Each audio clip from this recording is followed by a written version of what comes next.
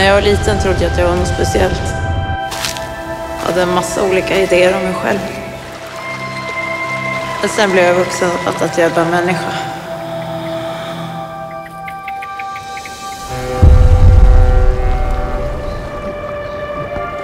Kan man verkligen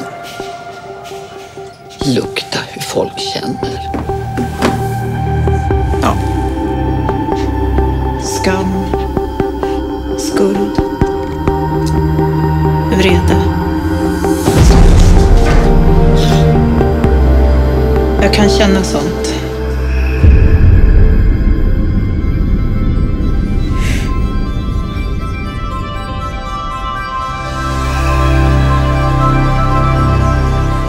Vem är du?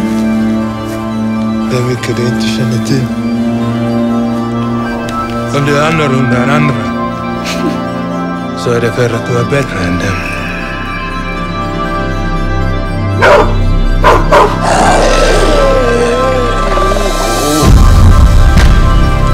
Hade fantasier om att älvor brukar dansa här. Som i sagorna.